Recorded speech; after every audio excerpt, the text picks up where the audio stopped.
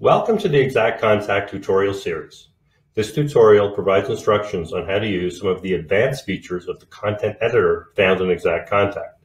The content editor is a WYSIWYG, or what you see is what you get tool that can be used to create graphical emails and letters. It can also be used to create your custom email header as well as your signature that can be used in your emails and letters. The editor works much like a word processor program in order to format text create bulleted or numbered lists, and copy and paste content from other sources. The purpose of this tutorial is to provide instructions on the more advanced features of the content editor that will allow you to create graphical emails and letter designs that really stand out. We will use the content editor to create a mass email in order to demonstrate. Start by clicking the mass email button in the main menu and then click Create New Email tab at the top of the page. The content editor is the big box about halfway down the page where you will create your email content. The toolbar buttons at the top of the editor provide access to the various editor functions.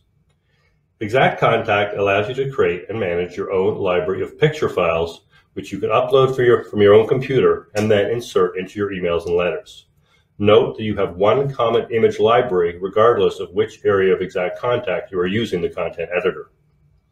To upload one or more pictures from your computer, start by clicking the Insert Image button in the Content Editor toolbar.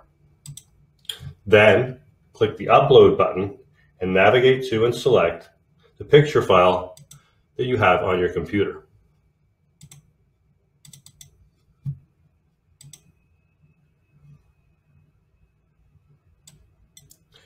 Your uploaded picture is added to your image library in alphabetical order by default. To insert the picture into your email, find it in the alphabetically sorted list,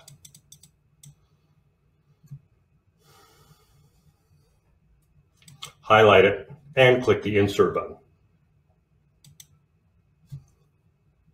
To insert an image already in your image library, click the location on the body of the content editor where you want to insert the image,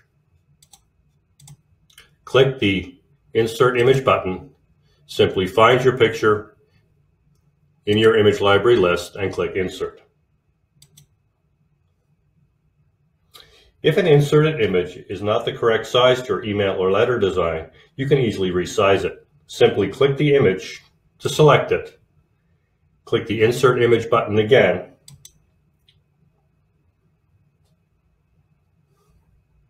And scroll down to the bottom of the pop-up and enter either the height or the width that you want to apply to the image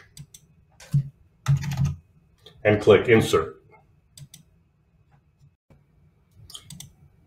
In order to ensure that when resizing an image, it maintains its original proportions and does not become distorted, make sure that you enter either the width or the height for the image and not both. Now we will show you how to insert hyperlinks into your emails. You can easily insert either, either text or images. Adding a text hyperlink can be done in one of two ways. You can either select the location where you wish to insert the hyperlink and click the Insert Hyperlink button in the editor toolbar and enter the web address,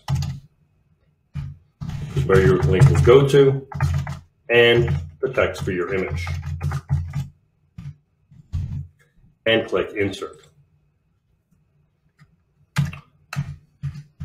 Alternatively, you can type the text for your hyperlink into the email first, highlight the text, click the Insert Hyperlink button, and just enter the web address.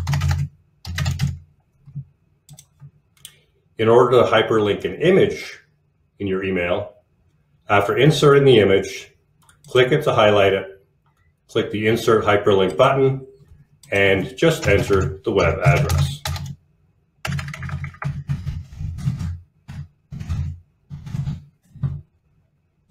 And your image will be hyperlinked.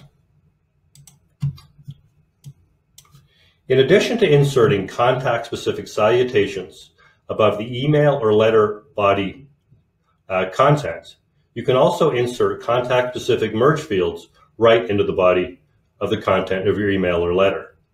This can be used to give your content a really personalized feel. To do this, simply click on the location in the content where you wish to insert the merge field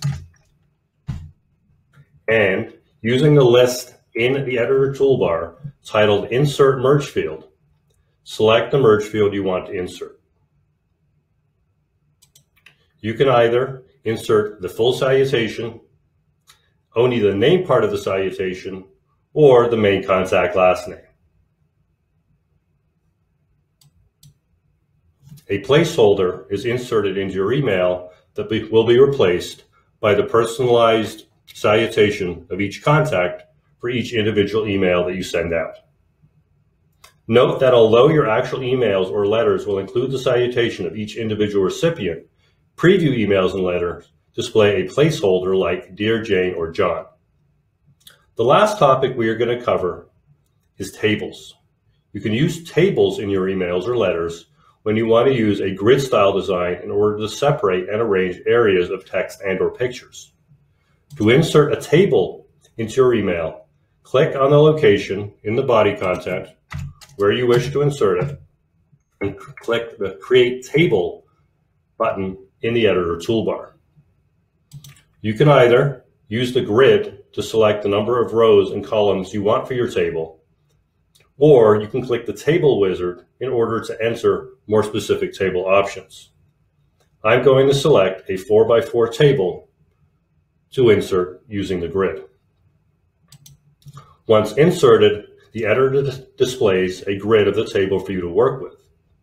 Note that the grid lines do not display in your actual email unless you explicitly format the table to do so. You can apply whatever formatting you want by clicking anywhere in the table and clicking the Table Wizard button that appears in the editor toolbar.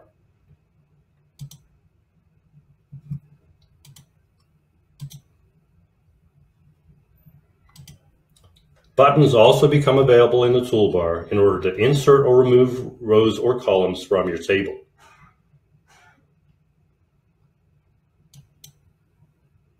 To insert content into a table cell, simply click inside the cell and enter your text or pictures.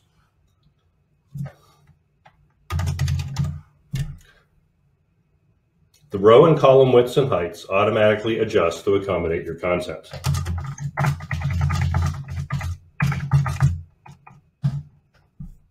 You now know how to use the features of the content editor in IXACT Contact in order to create graphical, attention-grabbing, personalized emails and letters that will wow your contacts.